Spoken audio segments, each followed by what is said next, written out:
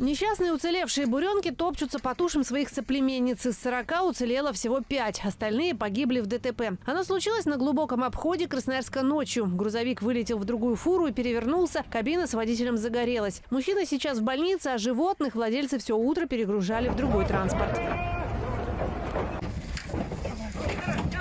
Метель бушевала два дня и накрыла весь наш регион. Вот так вчера днем и этой ночью люди добирались из Хакасии, а вот такая гигантская пробка из фур выстроилась по дороге в Кемерово и попалась тем, кто возвращался из Шерегеша, который тоже завалило. А железнодорожники рассказали, что их техника только со станции Красноярск вывезла 50 вагонов снега, целый состав, а со всех путей магистрали 550 вагонов. Кое-как идем устало нести ребятишек. Сегодня всем очень весело особенно бедным дорожникам. Основная снеговая нагрузка пришлась на Красноярск этой ночью. Утром пешеходы шли в снегу по колено, а автобусы буксовали прямо у остановок. Водители плясали у своих авто, кому повезло с лопатами. Горькие дворы брали штурмом, выезжали с толкача или не выезжали вовсе. Город простоял в утренних пробках, а чтобы вычистить дворы и подъезды, времени уйдет теперь не один день. Самыми сложными по-прежнему можно считать спуски и подъемы.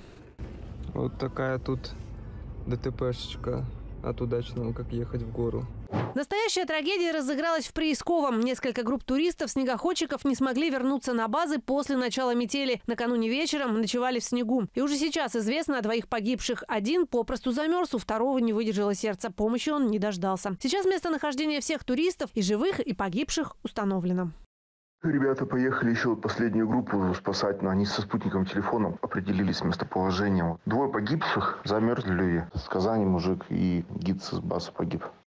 А там есть где укрыться? Или там, если уехал, то все, там нету ни избушек, Нет, ничего? там все, тайга. Ну, обычно копают какие-то там землянки, там них укрываются, кто поопытнее. Но там как бы холодно, и там много снега метет, поэтому снег будет, надо завтра еще.